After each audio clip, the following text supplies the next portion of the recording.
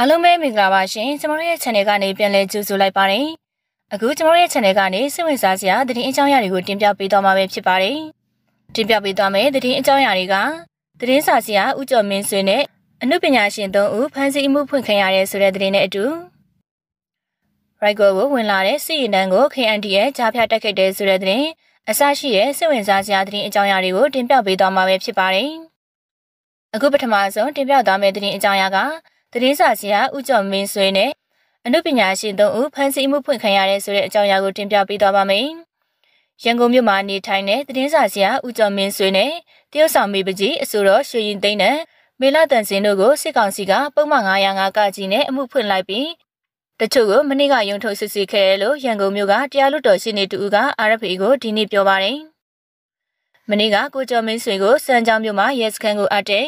ရှာစဒကြီးပုံမှန်905ကကြီးနဲ့အမှုဖွင့်ထားတယ်။တရုတ်ဆောင်မေပကြီးနဲ့ရွှေရည်သိန်းတန်တို့ကိုလည်းမနေ့ကညကပဲ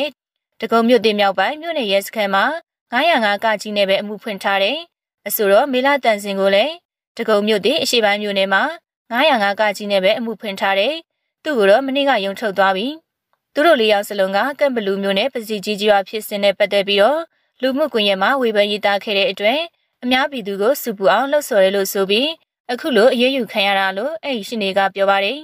။ပြီးခဲ့တဲ့ဧပြီလ17ရက်နဲ့12ရက်နေ့မှာသူတို့တွေကိုစစ်ကောင်စီလက်အောက်ခံလုံခြုံရေးအဖွဲ့ဝင်တွေကလာရောက်ဖမ်းဆီးသွားခဲ့တာဖြစ်ပြီးရန်ကုန်မြို့စစ်ကြောရေးတစ်ခုကိုခေါ်ဆောင်ခံခဲ့ရတာဖြစ်ပါတယ်။ဦးကျော်မင်းဆွေဟာဒီဘိုင်ဝီကလီချာနယ်ရဲ့အက်ဒီတာချုပ်တာဝန်ယူခဲ့သူတူဖြစ်တယ်လို့မြန်မာနိုင်ငံသတင်းမီဒီယာကောင်စီအတွေ့အကြုံမှုအဖြစ်တာဝန်ယူခဲ့သူလည်းဖြစ်ပါတယ်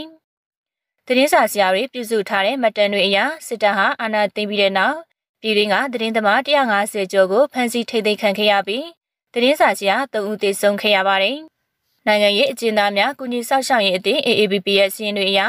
2021ခုနှစ်စစ်တပ်အာဏာသိမ်းခြင်းကနေ2023ခုနှစ်ဧပြီလ20ရက်နေ့အထိဖမ်းဆီးခံခဲ့ရသူပေါင်းဟာစုစုပေါင်း21,469ဦးရှိပြီးသူတို့အထက်မှာ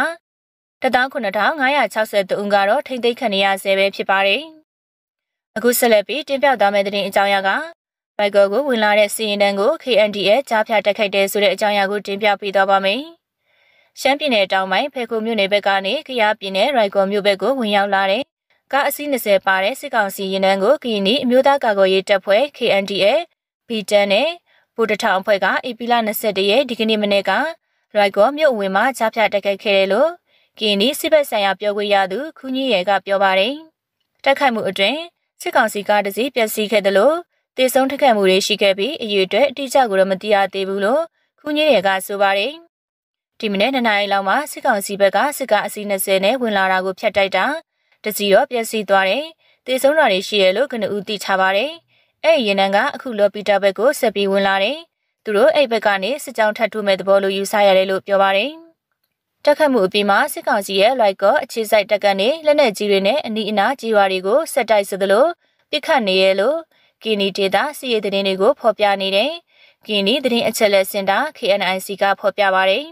။အခုလ19ရက်နဲ့18ရက်အတွင်းမှာတိုက်ပွဲပြင်းထန်ခဲ့တဲ့ဒီမော့ဆူမြို့နယ်ဒေါညစ်ခုကြီးရွာနဲ့ပေါ်လက်ခဲသွားတဲ့လမ်းပိုင်းမှာတော့ဧပြီလ19ရက်နေ့က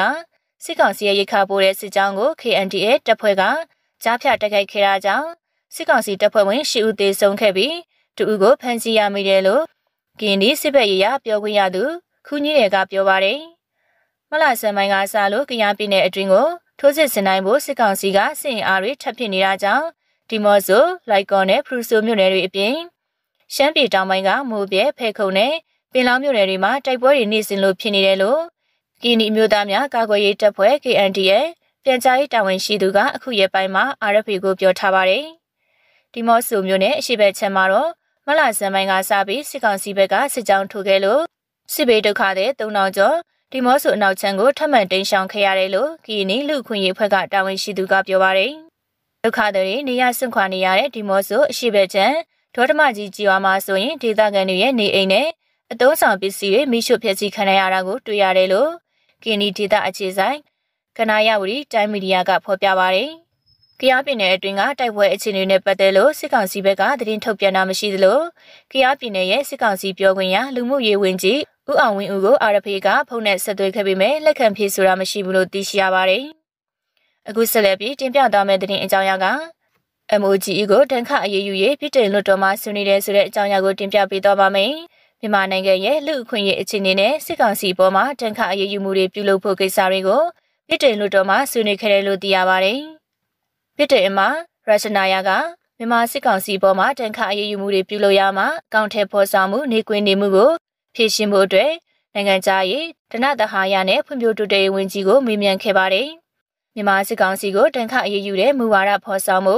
နိုင်ငံခြားရေးတနတဟာရနဲ့ဖွံ့ဖြိုးတိုးတက်ရေးဝန်ကြီးဌာနမှဝန်ထမ်းအင်အားအလုံးလောက်ရှိမရှိလဲသူမကမေးမြန်းခဲ့ပါတယ်။မြန်မာရင်းနဲ့တန်ငွေလုပ်ငန်းကိုတန်ခအရေးယူဖို့မြန်မာတန်ငွေလုပ်ငန်းနဲ့ပြည်ထောင်ကုမ္ပဏီတွေထိတွေ့ဆက်ဆံတာမြန်မာနိုင်ငံသို့လေယာဉ်စီတင်ပို့မှုပိတ်ပင်မှုရရှိနာယာကပြည်ထောင်အစိုးရကိုတောင်းဆိုပါတယ်။ တထုဒူဘော်ရေးကုမ္ပဏီတွေနဲ့မြန်မာနိုင်ငံကြားကုန်သွယ်မှုဘဏ်ကိုတန်ခအရေးယူဖို့မြန်မာစစ်ကောင်စီကိုစစ်လက်နက်တွေထောက်ပံ့နေတဲ့ရုရှားတရုတ်ပါကစ္စတန်နဲ့အိန္ဒိယကုမ္ပဏီတွေကိုအရေးယူဖို့ရရှနာယာကပြည်ထောင်အစိုးရကိုတိုက်တွန်းပါတယ်။ကနေဒါနိုင်ငံကတန်ခအရေးယူသလိုမျိုးမြန်မာစစ်ကောင်စီထံလေရင်စီစစ်လက်နက်ရောင်းချမှုအပေါ်မှာတင်ကြတာတွေလှုပ်ဆောင်မှုပြည်ထောင်လူတော်မှာအင်းနန်ကွမ်စာကပြည်ထောင်အစိုးရကိုတောင်းဆိုလိုက်ပါတယ်။အခုနောက်ဆုံးတင်ပြသွားမယ့်သတင်းအကြောင်းအရာက ဖာကန်မော်ပုံနဲ့စံခါရွာကဒေသခံ150ခန့်ကိုစစ်ကောင်စီကဖမ်းဆီးက NUG အလိုမရှိကြောင်းအော်ခံပြီးမှလူသားတိုင်းအဖြစ်ခေါ်ဆောင်သွားတယ်ဆိုတဲ့အကြောင်းအရာကိုတင်ပြပေးသွားပါမယ်။ဒီနေ့ AP21 ရက်မနေ့9နာရီခွဲခန့်မှာကချင်ပြည်နယ်ဖားကတ်မြို့နယ်လုံကြီးကြီးရွာအုပ်စုကမော်ဘုံနဲ့စံခါကြီးရွာကိုအင်အားတရာကျော်ရှိတဲ့စစ်ကောင်စီတပ်တွေကစစ်ကြောင်းနှစ်ကြောင်းခွဲကဝင်ရောက်ခဲ့ပြီးဒေသခံ150ခန့်ကိုဖမ်းဆီးက NUG KIA အလိုမရှိလို့အော်ခိုင်းပြီး ဗီဒီယိုမှတ်တမ်းရိုက်ယူခဲ့ပြီးတဲ့နောက်လူသားတိုင်းအဖြစ်အသုံးပြုဖို့အတွက်ဖမ်းဆီးခေါ်ဆောင်သွားတယ်လို့မဒဲရန်ဒေသခံတူကပြောပါတယ်။လုံငီအုပ်စုမော်ဘုံကြီးရွာနဲ့စံခါကြီးရွာကနေဖမ်းသွားတာမနေ့9နာရီခွဲလောက်မှာဝင်လာပြီးတော့မော်ဘုံသားတွေကိုအရင်ဖမ်းနေပြီးတော့မှစစ်ပြူဟာဘက်ကိုတက်သွားတယ်။နနာရီခွဲမှာခြာတိရတာကစံခါသားတွေရောမော်ဘုံသားတွေကိုရောဖမ်းပြီးဥယူချောင်းတစ်ဖက်ကမ်းမှရှိတဲ့ နတ်ဆန်တရင်ဘက်ကိုကူတဲ့တက်ပွဲဖြစ်တာလည်းမဟုတ်ပဲနဲ့ဒီတိုင်းလူသားတိုင်းအဖြစ်အသုံးပြုတာပါလူ150ခန့်ကိုစစ်ကြောင်းနှစ်ကြောင်းခွဲပြီးခေါ်သွားတာလို့ပြောပါတယ်